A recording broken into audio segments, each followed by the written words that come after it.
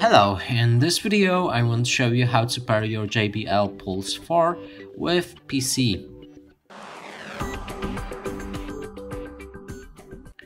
And to do this you will need to power on the speaker first, so look for this button and click on it once.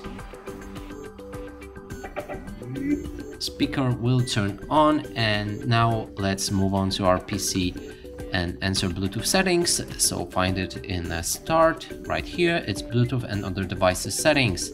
Open it. Then look for pair new device with desktop and your name.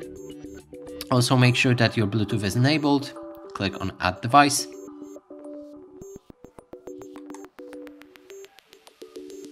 Bluetooth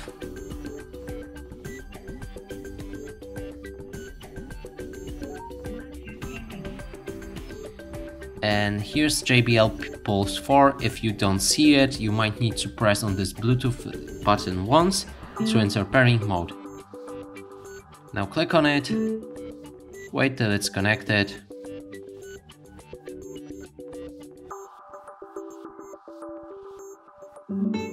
And when you hear the sound, it, your speaker is ready. And that's it for this video, hope you like it, please consider subscribing to our channel, leave a like and a comment below.